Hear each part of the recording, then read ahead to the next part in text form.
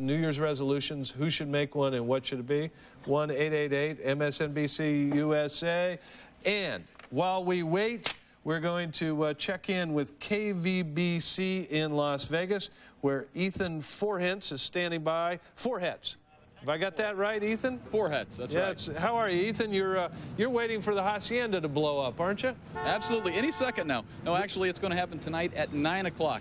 And I'm standing on the Las Vegas Strip, where in just a matter of hours, the entire strip will be closed down to vehicle traffic to make way for about 200,000, more than that, actually, New Year's Eve revelers gathering here to say goodbye to 1996 and hello to 1997. And of course, this is Las Vegas, as you mentioned. They're going to do it Las Vegas style. At 9 o'clock tonight, Las Vegas time, 12 midnight on the East Coast. This building behind me, the Hacienda Hotel and Casino, will come tumbling down, guaranteeing that 1996 goes out with a bang.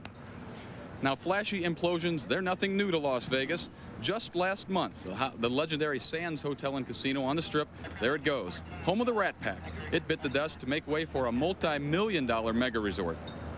There it goes. It doesn't take more than seconds. And back in 1995, the Landmark Hotel and Casino, it was imploded. Here it comes, split right in two. It came tumbling down in the wee hours of the morning, and this one didn't have much fanfare. But the biggest and the most flashy implosion so far has been that of the Dunes Hotel and Casino. It happened back in 1993. This one just wasn't an implosion, it was an event, much like tonight. A huge fireworks show set the stage for the sands to come tumbling down.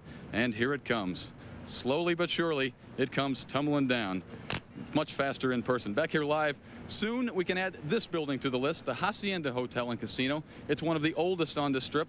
It's being destroyed to make way for a new 4,000 room resort dubbed Project Paradise. The, the new 42-story resort will have a South Seas flavor.